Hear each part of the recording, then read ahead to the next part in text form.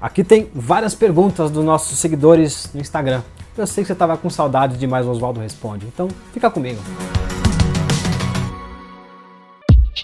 E aí, tudo bem? Eu sou Oswaldo e essa é a 3D Print Academy.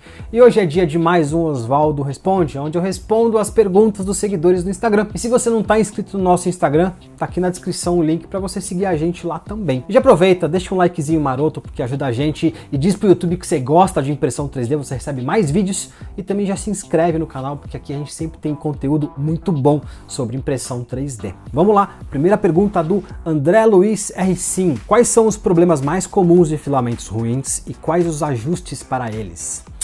André, vou te dar uma má notícia, cara.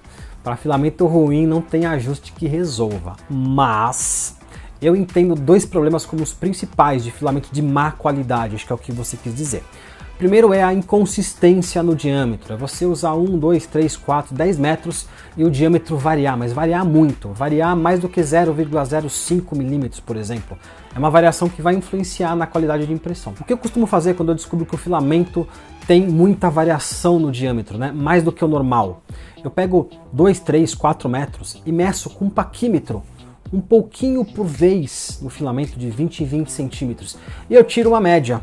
E no fatiador, onde você coloca 1.75, que é o padrão que todo mundo usa, eu coloco essa média. E aí o fatiador vai entender o fluxo baseado na tua média. Você não vai, na verdade, ter uma impressão perfeita, mas tendo esse diâmetro médio que você conseguiu depois de várias medições ao longo de 3, 4 metros, você consegue minimizar o problema do fluxo em função do diâmetro fora de padrão.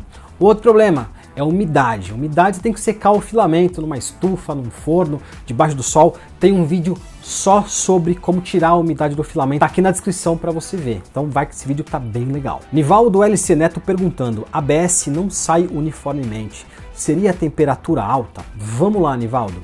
A gente tem que entender as configurações de uma maneira geral, integrada, e não só temperatura, por exemplo.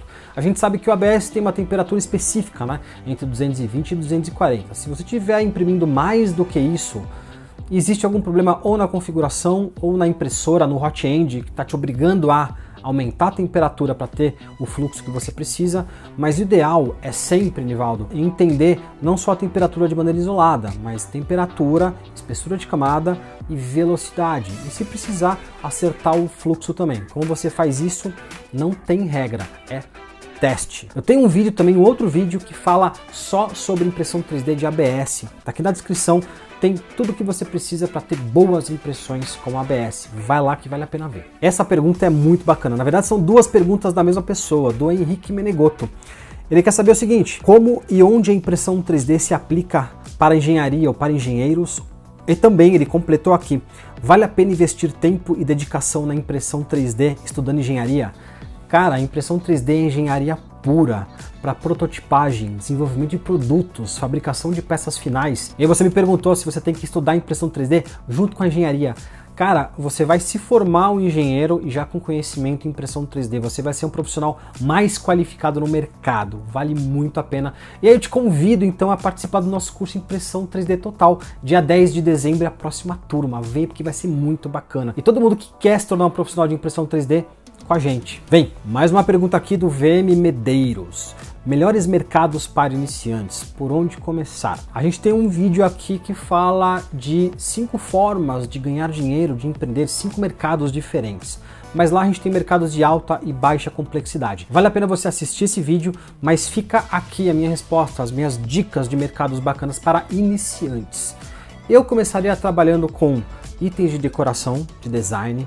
Eu começaria com action figures, que vale a pena fazer sim, mas tem que observar a questão de pirataria. Também tem um vídeo aqui sobre pirataria para entender quais são os limites que você pode trabalhar com action figures, com super-heróis, enfim, né? E também trabalhar com brindes. Então, brinde, apesar de ser um mercado onde em geral o valor é baixo, é uma boa maneira de você testar o seu processo de fabricação e venda. Opa, mais uma aqui que o Léo separou para mim, não é uma pergunta, é um agradecimento. W3D Print falando: Só tenho a agradecer pelas dicas. Obrigado, Oswaldo. Que Deus te abençoe muito. Que Deus abençoe você e a todos nós. Muito obrigado por estar com a gente. Eu fico muito contente quando eu recebo um feedback assim. Eu sou um cara um pouco acanhado para receber feedback. Quando vem alguma coisa assim, eu fico muito contente. Muito obrigado. E muito obrigado também a você, que eu sei que gosta de estar aqui com a gente, tá? Então continua com a gente porque tem muito mais coisa boa no canal em 2020, vai valer a pena. Outra aqui, do Sanches Ignácio. Como imprimir sem estrutura? Uh, talvez você queira dizer sem suporte, né? Que é aquelas estruturas que seguram a peça quando a gente tem vãos livres, né? Debaixo de alguma região da peça ou da peça toda às vezes.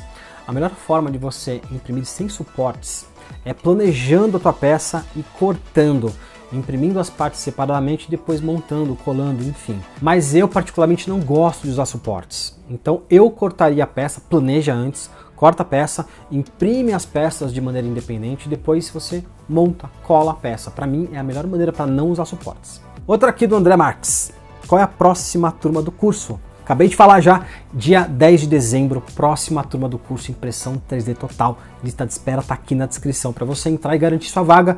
Essa turma de dezembro está prometendo, vai ser uma turma muito bacana. Vem com a gente que vai valer a pena para você se tornar um dos melhores profissionais de impressão 3D do Brasil. Boni Gouveia, Oswaldo, tem alguma cor de filamento que mostre melhor os detalhes, imperfeições etc?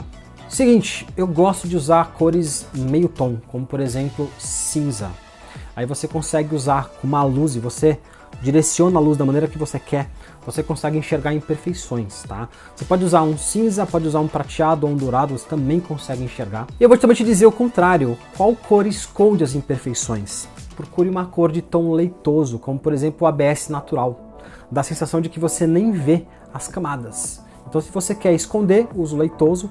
Se você quer visualizar melhor as imperfeições e as linhas das camadas, você usa uma cor de meio tom. Agora eu vou fazer um pedido para você. Deixa aqui nos comentários as sugestões de temas de vídeo para a gente fazer para 2020. Vocês me ajudam? Se você quer saber mais sobre impressão 3D, tem mais vídeos aqui. E se você quer se tornar um profissional, dia 10 de dezembro, lista de espera aqui na descrição para você participar do curso Impressão 3D Total por quê? Porque aqui a gente forma profissional de verdade. Nós não somos uma simples escola de impressão 3D. Aqui não é um simples canal de impressão 3D. Essa aqui é a 3D Print Academy. Te encontro no próximo vídeo. Te espero aqui. Tchau, tchau.